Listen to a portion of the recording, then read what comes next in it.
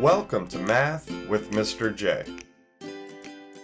In this video, I'm going to cover how to solve one-step multiplication and division inequalities. We will start with multiplication and then move on to division. Now, when we solve inequalities, we want to isolate the variable, get it by itself on one side of the inequality. We do that by using inverse operations. So this is very similar to when we solve equations. One thing we need to be aware of though, when it comes to inequalities, we flip the inequality symbol when multiplying or dividing both sides by a negative. And we will talk more about this later in the video.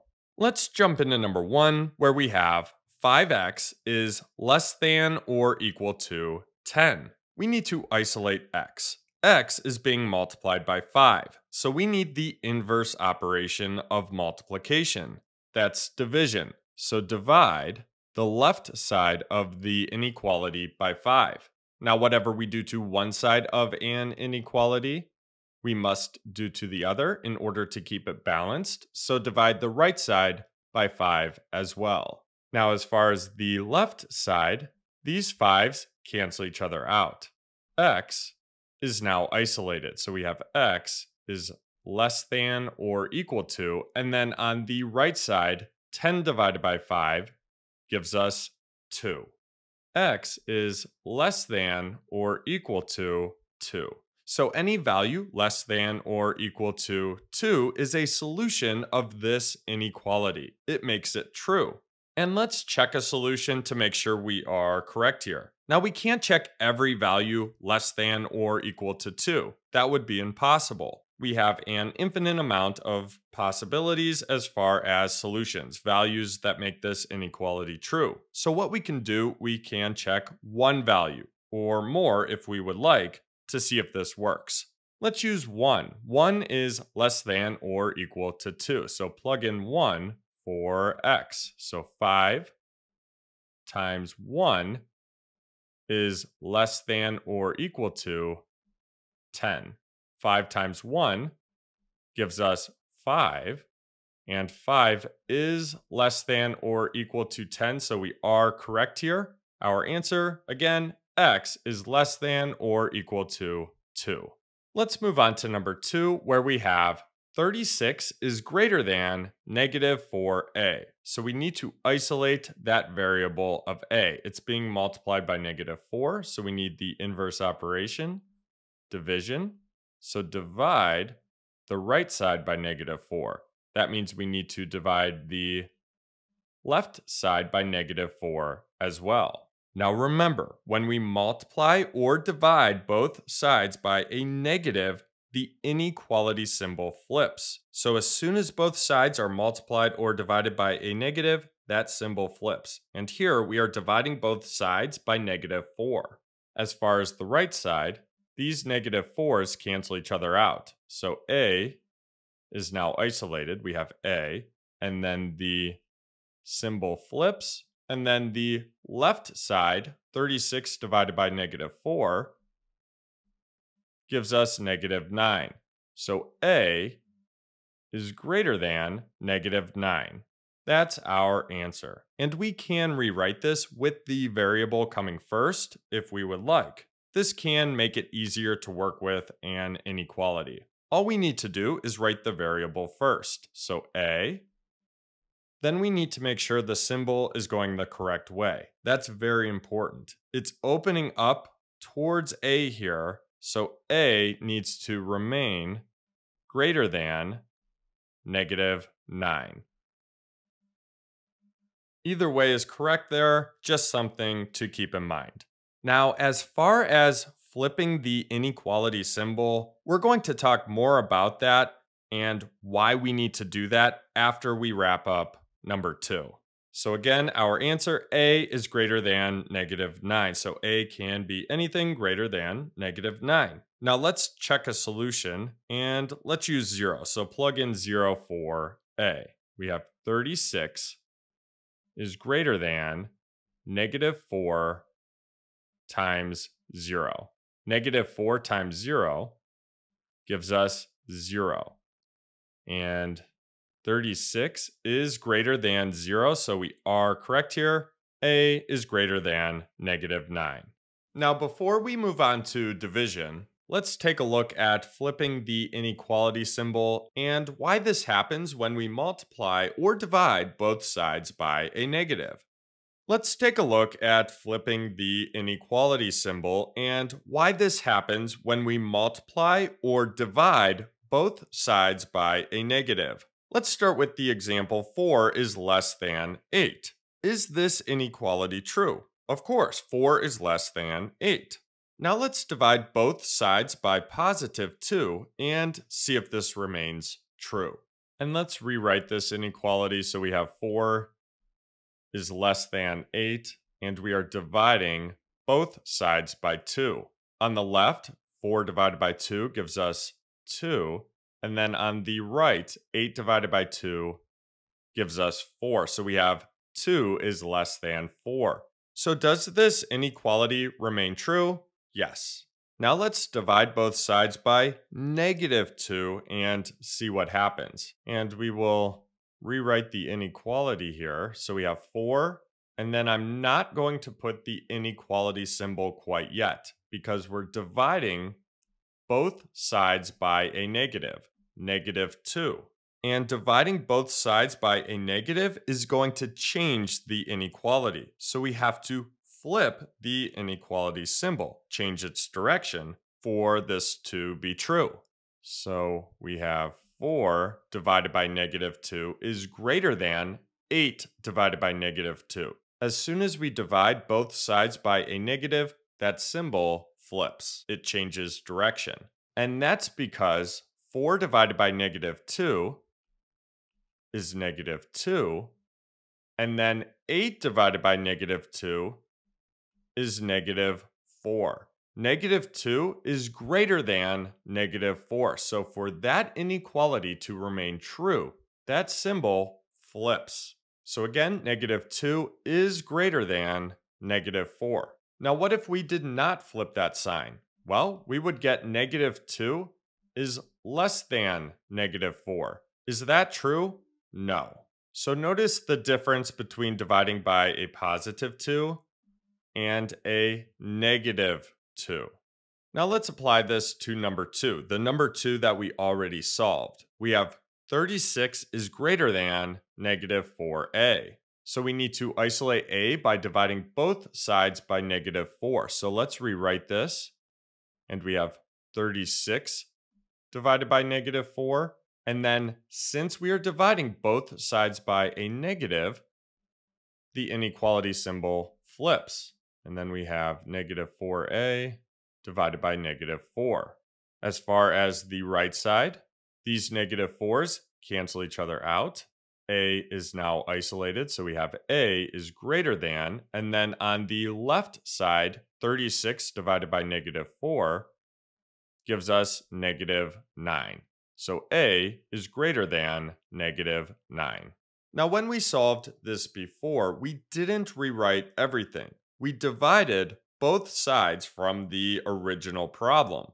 We flipped after dividing, and we ended up with the correct answer. And that was fine. But here I wanted to rewrite this to show that technically the symbol flips the moment both sides are multiplied or divided by a negative.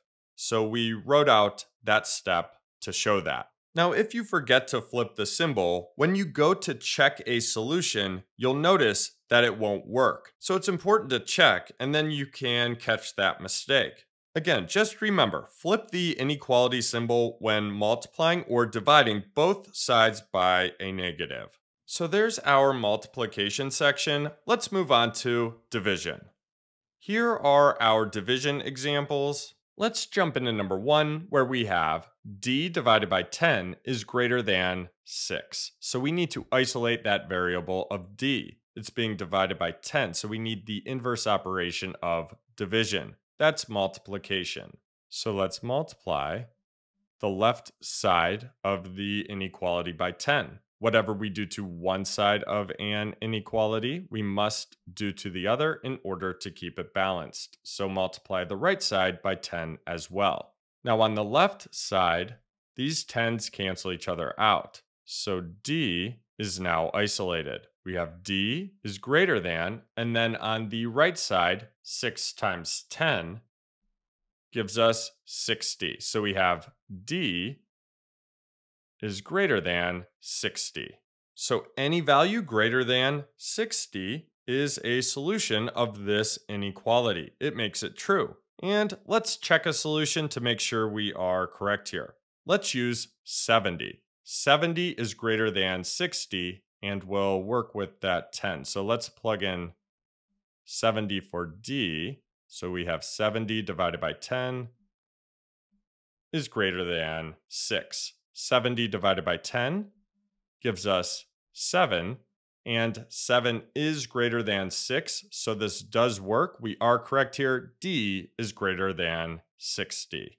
Let's move on to number 2, where we have x divided by negative 7 is less than or equal to negative 3. So let's isolate x. It's being divided by negative 7, so we need the inverse operation. That's going to be multiplication. So let's multiply the left side by negative 7 and that means we need to multiply the right side by negative 7. Now remember, when we multiply or divide both sides by a negative, the inequality symbol flips. So as soon as both sides are multiplied or divided by a negative, that symbol flips. And here we are multiplying both sides by negative 7. So as far as the left side, these negative 7s cancel each other out x is now isolated. The inequality symbol has flipped. And then on the right side, negative 3 times negative 7 gives us positive 21. Remember, a negative times a negative equals a positive. So this is our answer. x is greater than or equal to 21. In other words, x can be anything greater than 21 or equal to 21. Now let's check a solution to make sure we are correct here. And let's use 28. That will work with the negative 7 since we are dividing here. So let's plug in 28 for x. So we have 28 divided by negative 7 is less than or equal to negative 3. 28 divided by negative 7 gives us negative 4. So we have negative 4 is less than or equal to negative 3. That is true, so we are correct here. Again, x is greater than or equal to 21. Now before we end, let's take a look at flipping the inequality symbol and why this happens when we multiply both sides by a negative. This will be similar to what we looked at earlier in the video when we divided both sides by a negative. Let's take a look at flipping the inequality symbol and why this happens when we multiply both sides by a negative. Let's start with the example 2 is less than 5. Is this inequality true? Of course, 2 is less than 5. But let's see what happens when we multiply both sides by positive 2. Let's see if this remains true. And let's rewrite this with both sides being multiplied by 2.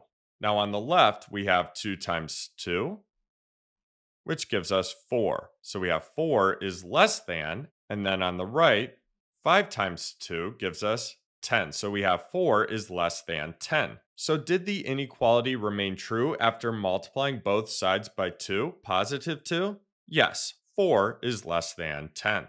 Now let's multiply both sides by negative 2. So let's rewrite this with both sides being multiplied by negative 2. But multiplying both sides by a negative changes the inequality. We have to flip the inequality symbol, change its direction. So we're multiplying the left side by negative 2, and then flip the inequality symbol, and then we're multiplying the right side by negative 2. As soon as both sides are multiplied or divided by a negative, that inequality symbol flips in order for the inequality to remain true. Because On the left, we are multiplying 2 by negative 2. That gives us negative 4. And negative 4 is greater than, and then on the right, we are multiplying 5 by negative 2. That gives us negative 10. Negative 4 is greater than negative 10. Now, what if that inequality symbol was not flipped? We would have negative 4 is less than negative 10.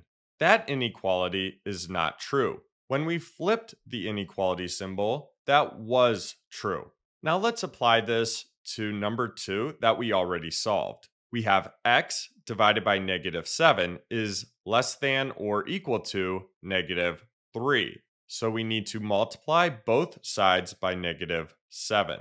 So let's rewrite this, and we are multiplying both sides by negative 7. And since we are multiplying both sides by a negative, the inequality symbol needs to flip. So that inequality symbol needs to change direction as soon as we multiply both sides by a negative in order for this to be true. Now on the left, these negative 7s cancel each other out. x is now isolated. So we have x is greater than or equal to, and then on the right, negative 3 times negative 7 gives us 21. So x is greater than or equal to 21.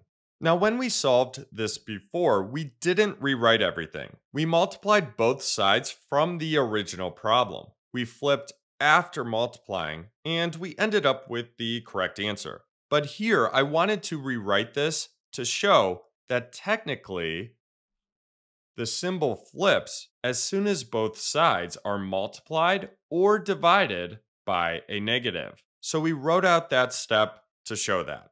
Like I mentioned earlier, if you forget to flip the inequality symbol, when you go to check a solution, you'll notice that it won't work. So it's important to check and you can catch that mistake. So there you have it. There's how to solve one step multiplication and division inequalities. I hope that helped. Thanks so much for watching. Until next time, peace.